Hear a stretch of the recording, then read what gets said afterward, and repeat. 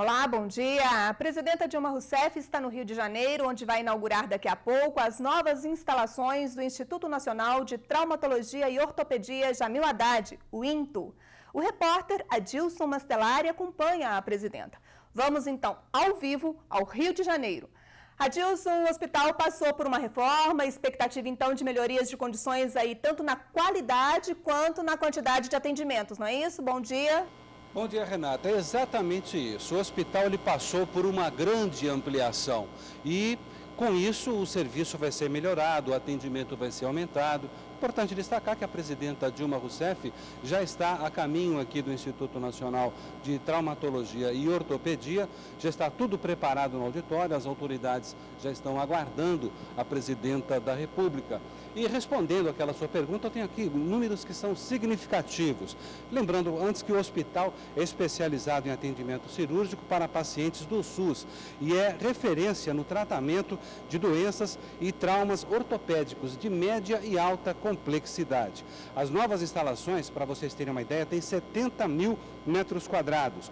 O número de salas cirúrgicas passou de 8 para 21, o que vai triplicar a realização de cirurgias de 6 mil para 19 mil por ano. Os consultórios, o número de consultórios também aumentou, de 14 para 60 a partir de agora. As consultas ambulatoriais passam de 102 mil para 305 mil por ano. E na área de reabilitação, são 255 leitos de internação, mais 48 de terapia intensiva e pós-operatório. Antes, eram apenas 144 leitos.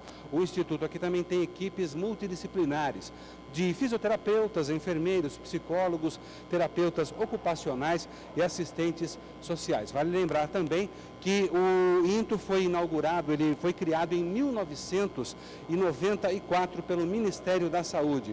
Responsável por normatizar os procedimentos na área de ortopedia em todo o país. Em março de 2006, recebeu a certificação máxima de qualidade para hospitais e clínicas médicas no mundo, renovada em 2009 por mais três anos. Por enquanto, são essas as informações aqui do Rio de Janeiro, direto do Instituto Nacional de Traumatologia e Ortopedia. Lembrando que daqui a pouco a solenidade começa, a presidenta vai conhecer boa parte das instalações, já que o prédio é muito grande, e na sequência a inauguração oficial, a solenidade oficial no auditório que já está preparado para ela. Renata.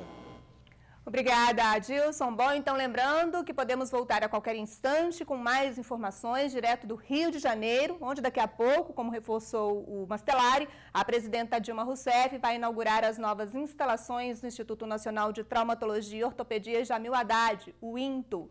Só para lembrar aí as informações repassadas pelo repórter Adilson Mastelari, a área ambulatorial do novo INTO vai contar com 60 salas de atendimentos para todas as especialidades ortopédicas, o que vai representar um aumento anual de três vezes o número de consultas. A expectativa é que o Instituto realize cerca de 305 mil consultas por ano. E você pode acompanhar conosco pela NET, Sky, Oi TV, Embratel ou sua operadora local, pela internet no nosso site, no da Presidência da República ou pelo blog do Planalto. Continue com a gente, NBR, a TV do Governo Federal.